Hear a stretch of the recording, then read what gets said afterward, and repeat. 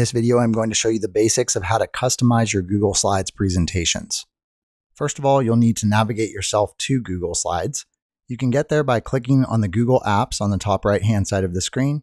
When you click on it, you can either scroll down to your Google Drive or you can go directly to Google Slides. I'll click on that for now. Once you're in Google Slides, you'll be able to see any slides presentations that you already have made. You'll also see that there are some pre-made templates here that you could choose from, or you could just go ahead and make a blank one. If you start with a blank slide, it's going to be relatively uninteresting. So the first thing you might want to do is check out one of the themes on the right-hand side. You can scroll down and see the different themes that are available. And when you find one you like, go ahead and click on it the first thing you should do is go up here and give your presentation a name. Now let's look at some different things you can do with the text. I'm going to click here and start typing a title. The appearance of the text is called the font. If you don't like it or if you just want to change it, you can highlight the text. Then you can go up to the menu, select font, and there you'll see you have a bunch of different font options to choose from. If you don't like the fonts that are here, you can also go to more fonts to be able to check some other ones out. If you find one that you like, just click on it, click OK, and that will change your text to that font. The next thing that you can do is adjust the size of the font. So clicking on the minus will make the font smaller, whereas clicking on the plus will make it bigger.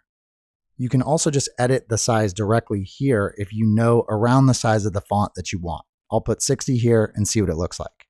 It looks like this font is already bold. I can tell that because the B is highlighted, if I don't want it to be bold, I can click off of it and see what that looks like. Then you can also make the font italicized, you can underline it, and you can also change the color by clicking on text color. You'll see that there's a wide range of colors, and there's also some colors down here in the theme that tell you some specific colors that will match with the color scheme that you have right now. Let's go ahead and try this one. I like the bold, but not the underlined and italics, so let's take those off. Next, you could also add a highlight behind the text. So again, I'll drag my mouse cursor over the text. I'll click on highlight color. And if I wanted to add a background highlight, I could click a color and you'll see that that adds that to the background. If you have a dark background like this, you'll probably want to change the text color so that it works with that particular background. I want to go back though to what I originally had. So I'm going to go up here to edit undo and I'll undo that so that it goes back to my original font. You'll notice down below that there's also a place for you to add a subtitle. Here would be a good place to write your name since this is the title slide. Just like the text above, you can also make it bigger and you can change the color of the text as well. Notice how this template comes with a color bar at the bottom. If you click on that color bar, then go up to background, that will allow you to change that color so that you can customize it however you'd like. Even though now it looks like my text disappeared, all I have to do is highlight back over it change the color to one that would appear on that background, and I'll get it back again. You'll notice as well that there's a box around this text. That's called a text box. When you hover over the text box, you'll see a crosshairs pop up, and that will allow you to drag that text box anywhere you want it to go. When you do that, it will move the position of the text as well. One thing to keep in mind is that you want to make sure that your text box is aligned. So notice when I'm moving it around, a red line is showing up in the middle. If I make sure that I stay on that red line, I'll make sure that my text stays in the center. But if I were to move it away, then my text is not necessarily going to be in the middle, and that's not going to look as good. You can also shrink the size of the text box by hovering over the line and then dragging down if you want it to be smaller, or dragging up if you want it to be bigger.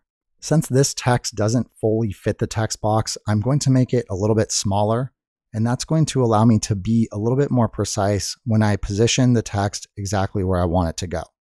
And again, when I'm doing that, I'll make sure I line it up with the red line so that it's centered. The next thing that I'm going to do here is add an image to make this cover slide a little bit more interesting.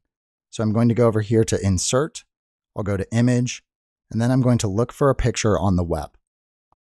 Here I'll search for a homework assignment, see if there's an image that I like,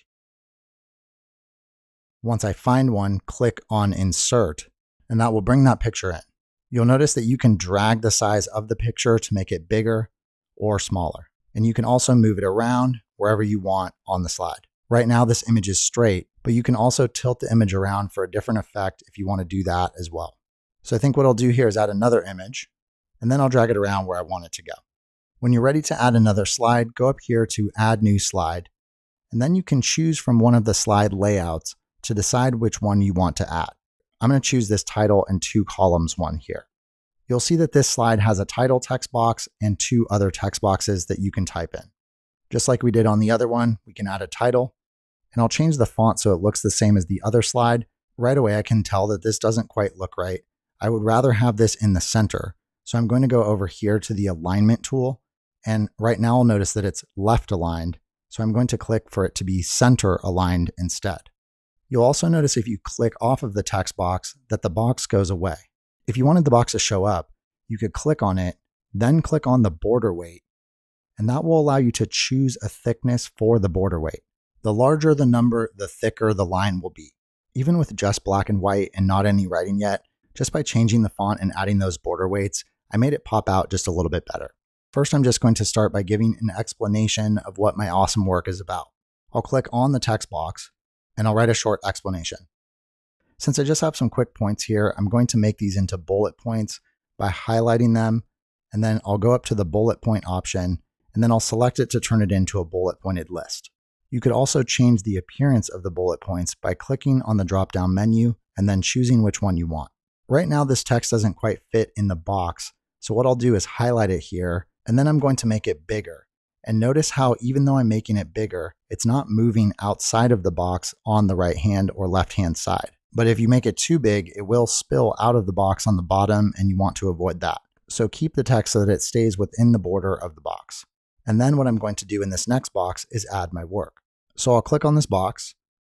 Then I'm going to go up to insert. I want to bring in a video from my Google Drive. So I'll go down here to video then I'll go into my Google Drive folder and I'll find the video that I want to upload. Notice that right now the video pretty much takes up the entire size of the screen. So I'm going to need to size it down and then I can move it wherever I want. Since I put the video there, I don't really need this text box anymore. So I'm just going to click on it and then I'll click delete. And now I'll move that video down so that it's aligned with the text box on the left hand side. And I can figure that out because I aligned it with that red line right there. This font doesn't quite work with the title that I included. So I'm going to highlight it, change it really quickly, and I might also need to change the size and make it a little bit bigger as well. And now I want to add some color here too. So one option is that I could click on the slide background and then select background color like we did on the previous slide, and I could select a different color for the background. Another option is that you could choose to fill the text box with a color by clicking on the text box, going up to fill color, and then choosing a color that you want to be in the background of that text box. You could also fill the other text box here by repeating that process. If you fill the background with a different color, you might also want to play around with the text color to see if another color might look better with the background color that you just used. One thing that I'm noticing here is that this video looks a little bit small, so I'm just going to make it a little bit bigger and recenter align it so that it looks just a little bit better. All right, that was part one of customizing Google Slides presentations. Look out for part two of this video in order to learn new skills such as duplicating slides, adding custom animations and motions, as well as how to share your slides with others so that you can collaborate on projects.